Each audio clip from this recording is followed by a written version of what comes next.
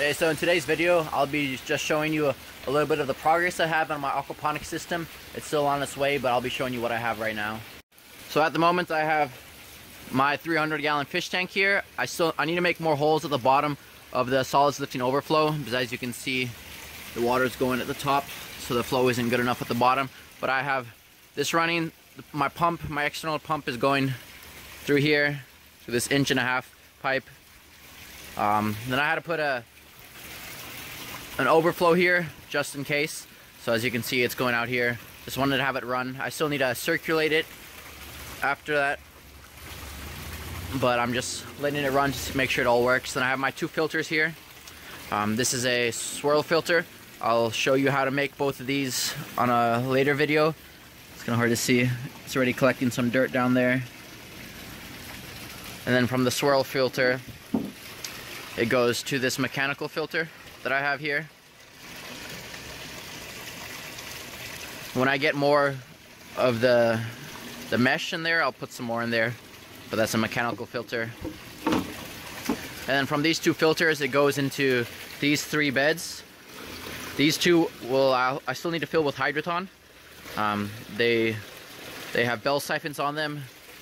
This one, it was going to be a floating raft system, but since I have other ones that can be used as floating rafts, you can see the big blue one. I'm gonna use this grow bed to grow duckweed so I can have some food for the fish and also because duckweed is also good for uh, filtration. So I'll have that in here. I still need to put a little little bucket around this one so the duckweed doesn't go down there.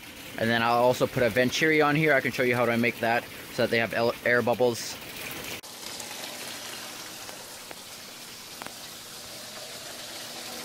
And then these, these two beds are connected. They'll be connected to this one over here later on. I just need to get a liner for it. And they all go down into here. I have a video on how I set this up that I will post later. Um, but basically, this is a three inch pipe going from three different grow beds and then down, down along here. This works. If anyone ever was wondering if they can lay a pipe along the ground, um, it works because you know the water fills up here and then the pressure just pushes it out. So then I have down here my sump tank.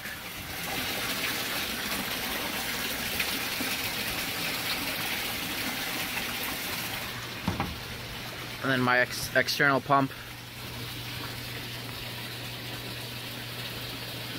And then yeah, from there it goes along there to there.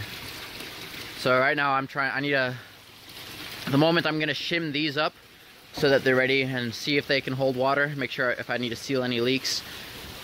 Then all I need to do is twist this and turn it on and then this one goes from here into that grow bed over there. So this one right here will be a floating raft.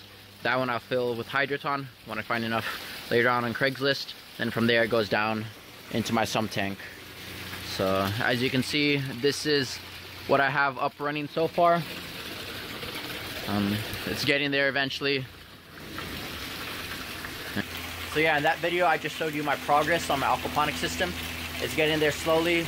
Um, so if you have any questions or comments, please leave them below. And don't forget to give a thumbs up and subscribe.